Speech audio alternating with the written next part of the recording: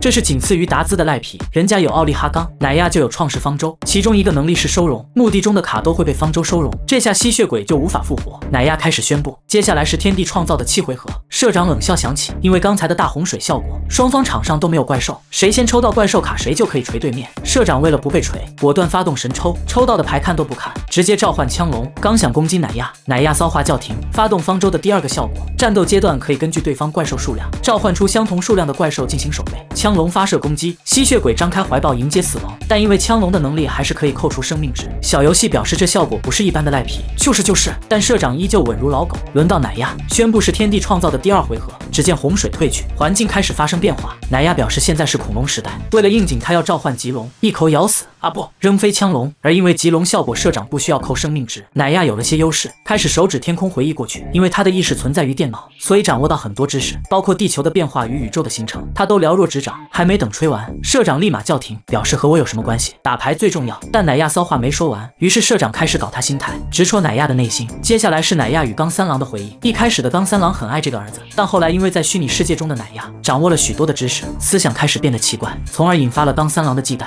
也顺势造成海海马兄弟被冈三郎收养。而社长也就是针对这一点，开始疯狂嘴炮奶亚。但奶亚毕竟是 boss，不打到最后心态不会崩。于是天地创造第三回合开始。